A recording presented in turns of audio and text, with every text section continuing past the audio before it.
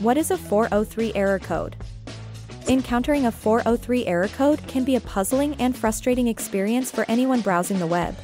This error, also known as HTTP error 403 or a 403 forbidden, signals that access to the requested resource on the server is denied. Unlike a 404 error, which indicates that a page doesn't exist, a 403 means that the page exists, but you cannot access it. What causes a 403 error? A 403 error indicates that the server understood your request but refuses to authorize it.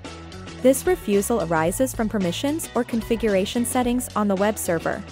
The common causes of the 403 error can include Incorrect file permissions. Files on a web server have permissions dictating who can read, write, or execute them. If these settings are incorrect, they may block access and lead to a 403 error. Issues with the htaccess file. The htaccess file in Apache web servers controls high-level permissions.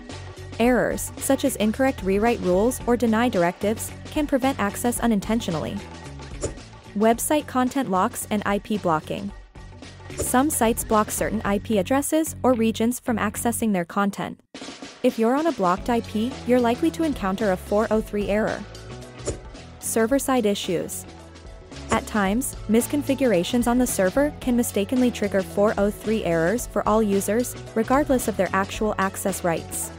Identifying the root cause of a 403 error is crucial for effectively addressing it. Solutions typically involve adjusting file permissions, correcting htaccess configurations, or investigating server settings. Want to learn more about fixing errors? Visit whatismyip.com.